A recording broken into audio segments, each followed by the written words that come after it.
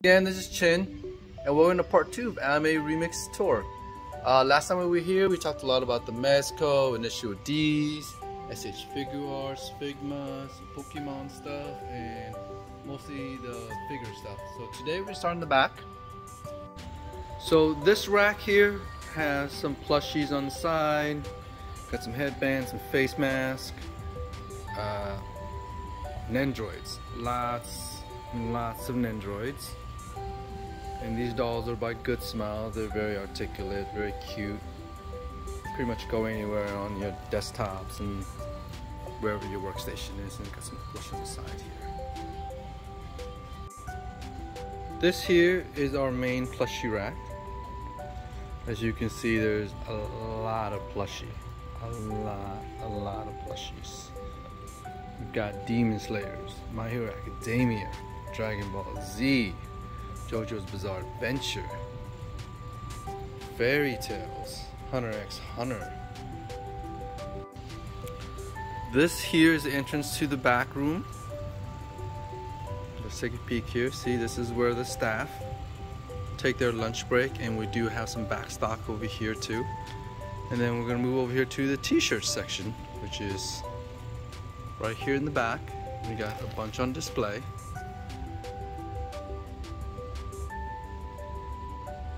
And these are all individually wrapped and then we got some hanging up here. There's a t-shirt rack here in the center.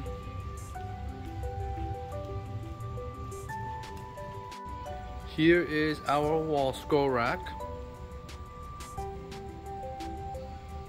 And on top of that are our LED otaku lamps and these are amazing. They will light up your room. They come in tons of modes, very a whole bunch of different color. We got some bags here. And on this section we have little tap lamps. So basically what they do is they just light up and if you want them to change color, you just kind of tap them yeah, Very nice, very nice. Make great Christmas presents and birthday presents for the little ones.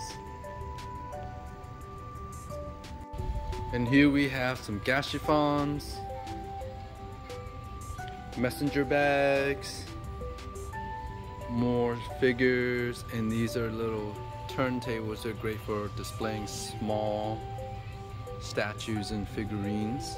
Some more plush. And these here are drawstring bags, plush, and these are plush bags. These are great.